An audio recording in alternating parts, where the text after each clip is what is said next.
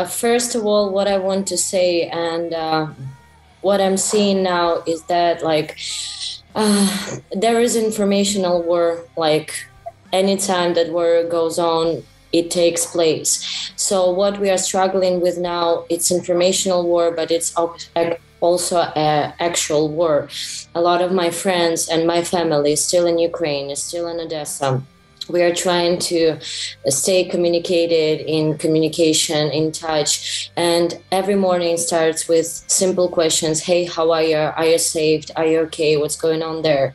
And i want world to know that it's not a special operation from russia. It's an actual war because what's going on now civilians they are killed. Children they are they are killed like there are huge numbers of of this. And the main catastrophe that on the russian side they are blocking media to people not seeing the truth. And if i have any opportunity to mm, shred the light on this I'm happy to do this. And uh, it's my heart is broken because I have a lot of friends in Russia. We have a lot of friends, musicians in Russia, labels, what's on. And I know that uh, they have been going to protests and meetings for 11 years. And we know that this this this situation is very scary for them because they we already did it years ago on Maidan, we fight, we fight the leader that wasn't a leader. We find a curse. I believe in humanity and in unity. That's all. All right, thank you very much, much for those amazing words.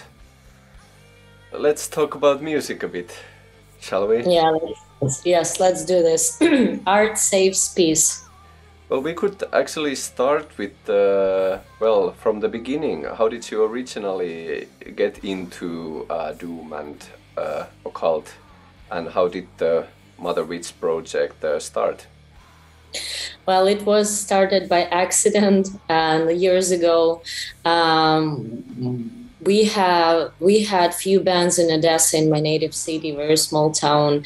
It like was 2012 or I don't remember now, actually, maybe 2013. I, I really don't remember now. I think 2013, we first started, we gathered together because I've been visiting rehearsals of my band, of my friends, and they were playing Stoner Doom and for me it was a big discovery. I've been a big a huge fan of jack white and his project the dead weather. And i wanted to and i'm huge project of blues uh, like Etta James Aretha Franklin and something like this. And for all my life i wanted to like sing this kind of music. I was like i don't remember 16 17 years old. So and uh, yeah and we just like brought this idea and uh, i tried to make a band at my university but it failed. And then like step by step um, some guys joined the band and we started playing and uh, this is how it started somewhere in the basement in the liquor factory in odessa we started to play our music and we just wanted to see how the synergy of four people can work out what music we can bring into there were no uh, there were no goal to make a specific genre, but there were a goal. There, there was a goal to make music, to create something. To you, is there a spiritual side to Mother Witch's music? Of course, I mean, like my mother, uh, my mother follows what we do. Of course, who else? And she always like, hey, please don't don't don't do any sacrifices. Like, please save animals. Like, we're not doing this. But the concept of the mother witch for me was like over the years, I figured out that it's like it's a huge part of me. It's that maybe dark, maybe cruel part of me and i guess of every woman in this world very powerful that like what you can where you can create your own reality and maybe you can bless you can send curses if like you know it's some some conceptual thing about justice inner justice and saving lives because like you know mothers and children it's it's a crucial connection. It's like genuine connection. So and spiritual thing of course it was a huge because all the alternative genres and all the alternative subcultures they are voting against something. They're like they're expressing their protest and it was kind of our protest. Maybe we didn't realize it back in the days but now i can definitely say it. And uh, this was a huge this is a huge thing for me to express myself to to to show people that they can fight that they they can fight that they have power that i have power and to make some impact to change this world like you know overall. So so something like this something like this. And art and music this is a special like i believe and bible says the first uh, was the, uh, there was a word first. So basically what we are doing with lyrics we're putting a first uh, the word firstly and then we are gazing with the music that for the whole history of humanity it was a huge impact on the people's consciousness. Yeah kind of continuing on that where do you draw inspiration for the lyrics? From people, from life, from love, from pain, from everything that surrounds me. I remember, like we've been asked a lot of times, where we gather. This is inspiration. This is a this is amazing question. I, I hated it basically back in the days because uh, because every genre it has it um, its canons. And of course you want to create something uh, something unique but of course art is an inspiration. When you combine you have one element and you have another element you combine them and you get, you get a third element unique element. So this is fine but inspiration i've been a huge fan I discovered a lot of stoner doom bands once we started doom music. So and then like of course you you hear how the how it sounds. You try to you try to paint you try to make these uh, strokes by the sound design by the sound engineering to to express your emotion better when the listener uh, listens to it.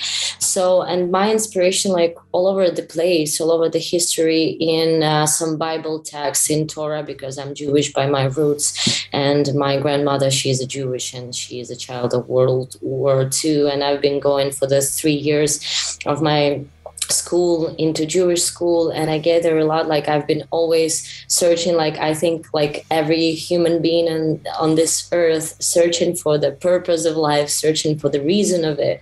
So and i've tried to concentrate of on on on what we all as human beings what we feel what we are going through what we experience. So there are like i can like everything this world human beings love love basically love as I understand, there were plans to release new music this year. Is that true? That's super true.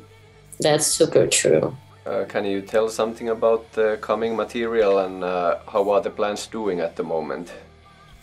Well, right before the war started, for last four days before it started, before Kiev started uh, uh being bombed, I've been recording music because now I have I had uh, three or four music projects that I'm working on, but like one of them is pop project another one is uh, uh, featuring with belarusian guy that makes music. So like you know from this kind of perspective we're trying to be united.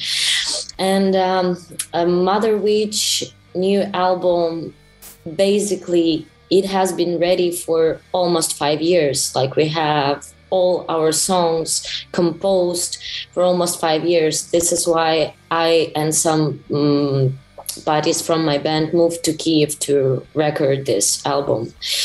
And uh, now, like for the last uh, few days before uh, Kiev being bombed, I've been recording demos for this um, album because we already have our drums recorded like two or three years ago uh, guitars uh, and bass lines they're recorded. So we started putting uh, vocals on that.